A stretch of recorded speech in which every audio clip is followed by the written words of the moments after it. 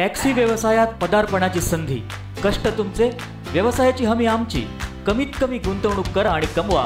रुपये तीस हजार ते चाळीस हजार दरमहा कार ड्रायव्हिंग लायसन्स आणि पुण्या मुंबईत राहण्याची तयारी आवश्यक. अधिक माहितीसाठी संपर्क माई हिंदाई कुडाळ. मोबाईल क्रमांक double nine double two four two nine double zero seven किंवा seven double four seven double four two nine two one. गाव आमच्या हक्काचं नाही कोणाच्या बापाचं. कोण म्हणतो देणार नाही घेतल्याशिवाय जाणार नाही. दोषी अधिकाऱ्यावर कारवाई झालीच पाहिजे. अरुणा प्रकल्पग्रस्तांच्या अशा घोषणांनी वैभववाडी तहसील परिसर दणाणून गेला.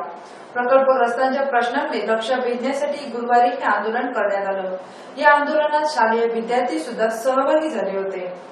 अरुणा प्रकल्पग्रस्तांच्या प्रश्नांकडे लक्ष वेधण्यासाठी प्रकल्पग्रस्तांच्या वतीनं गुरुवारी सकाळी तहसील कार्यालयाच्या आवारात बसून त्यांनी आंदोलन सुरू केलं. अरुणा प्रकल्पग्रस्तांना भूखंड नाही मोबदला नाही पर्यायी शेती जमिनीचा पत्ता नाही पुनर्वसन गावठणात अद्यापसुद्धा प्राथमिक सुविधा नाहीत या सर्व प्रशासनाच्या कामाच्या निषेधार्थ प्रकल्पग्रस्तांनी आज आंदोलन पुकारलं. अप्पर जिल्हाधिकाऱ्यांनी सतरा जून रोजी गाव खाली करण्याची नोटीस बजावली आहे. ही नोटीस बजावणाऱ्या अप्पर अधिकाऱ्यांचं डोकं ठिकाणावर आहे का? भर पावसात आम्ही जायचं कुठे राहायचं कुठे? घळभरणीसाठी धरण समितीचे पुढारी आणि प्रकल्प अधिकारी यांच्यामध्ये झालेल्या गैरव्यवहाराची ईडीमार्फत चौकशी करण्यात यावी तसंच जबाबदार अधिकाऱ्यांना निलंबित करण्यात यावं या मागणीसाठी गुरुवारी सकाळी अरुणा प्रकल्पग्रस्तांनी तहसील कार्यालयासमोर धरणे आंदोलन करत जोरदार घोषणा देत प्रशासनाचा निषेध केला. अरुणा मध्यम पाटबंधारे प्रकल्प हा आमच्या आखवणे भूम आणि नागव नागपवाडी या गावात जवळपास पूर्ण झालेला आहे. दोन हजार पाचमध्ये या प्रकल्पाला सुरुवात झाली.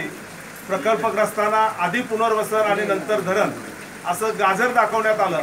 दोन हजार सातमध्ये आखवणे नागपवाडी भूम ह्या गावच्या पुनर्वसनासाठी वेगवेगळ्या ठिकाणी जमिनी सपाटीकरण करण्यात आल्या. आणि या ठिकाणी पुनर्वसन होईल असं सांगितलं. परंतु दोन हजार सात आठच्या नंतर दोन हजार एकोणीस उजाडलं धरणाची घडभरणी प्रकल्पग्रस्तांना न विचारता करण्यात आली. धरण धरण पूर्ण झालं.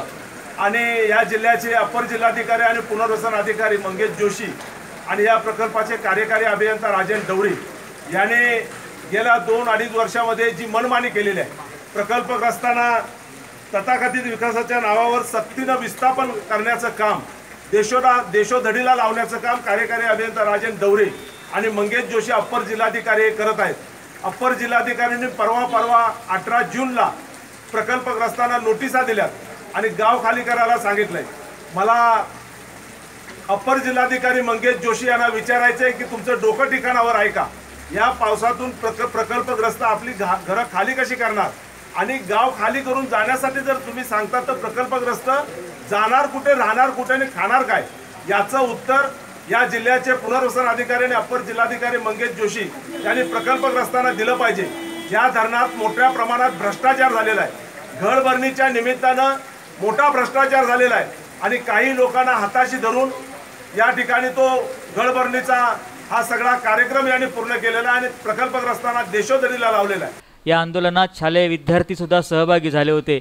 तानाजी कांबळे प्रकाश सावंत विलास कदम सुरेश जाधव सखाराम जाधव विजय भालेकर वामन बांद्रे ज्ञानदेव चव्हाण लता बांद्रे सुनंदा चव्हाण सगुणा चव्हाण प्रभावती बांद्रे आरती कांबळे सुभाष कांबळे गजानन सूर्यवंशी विश्वास जांभळे यांच्यासह प्रकल्पग्रस्त उपस्थित होते.